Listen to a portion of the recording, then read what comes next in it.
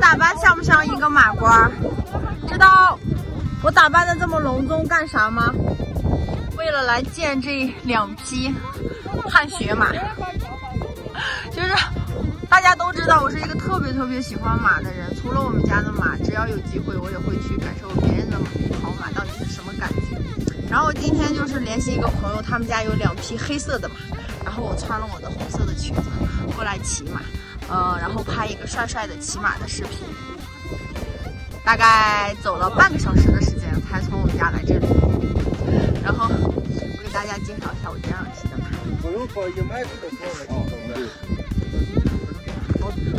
啊，好漂亮的小黑马！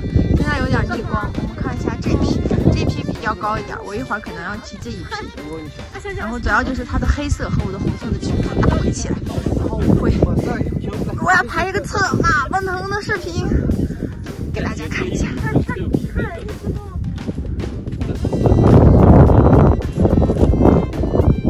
他这儿受伤了，看到了吗？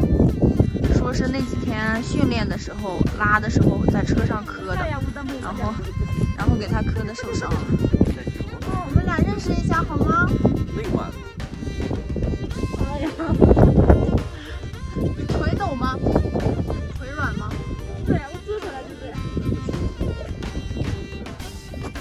是，我最后一次。终于轮到我了。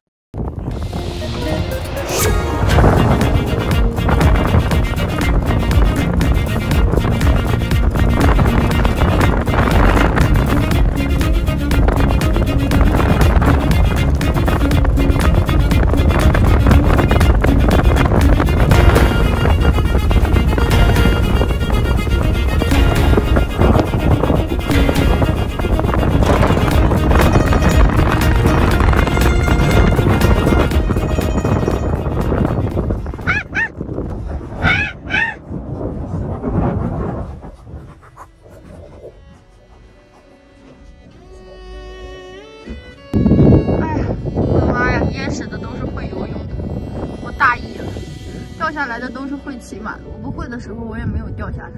我会的时候为啥掉下来？因为刚刚那个马，因为我的裙子飘的时候，红色的裙子吓到它，然后它又是跟我第一次合作，那个右脚的蹬，然后直接就蹬的给开了，开了以后我就蹬不住了，拉住它的时候，它急刹，急刹我就我就滑下去了，可以说滑下去以后。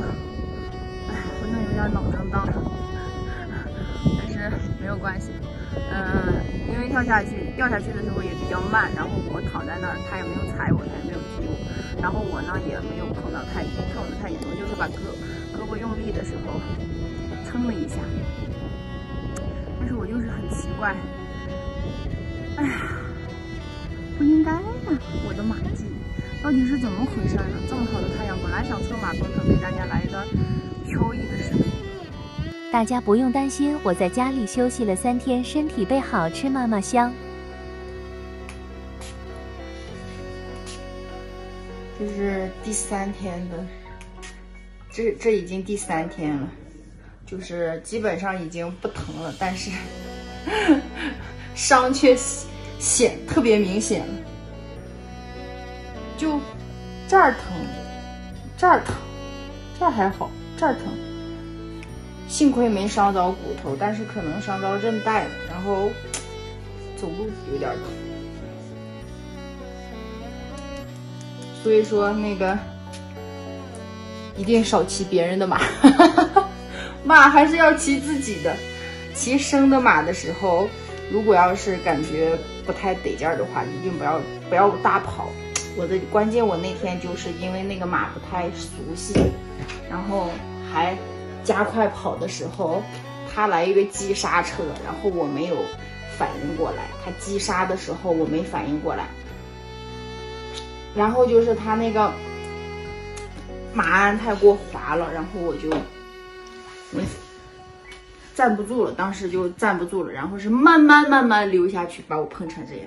如果我要是快溜下去的话，估计就现在就不在这儿待着了。如果要是他跑起来把我摔下去，我就不在这儿待了。我可能现在已经在那儿。这地方已经好了，再消消毒吧。最主要就是这个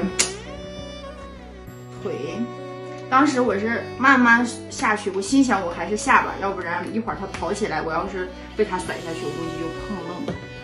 头也碰了一下，头已经没事儿了，今天已经第三三天了，头已经没事儿，就是这个地方散出来了，清理散出来了，就感觉严严重一些。其实我已经走路不拐了，是吧？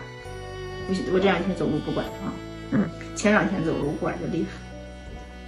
最主要就是这儿，看，哎，这儿就跟这儿好像在石头上硌了一这儿疼，主要就这儿疼。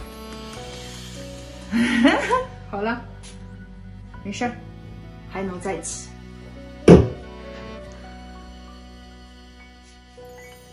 待我好了，我还得骑吗。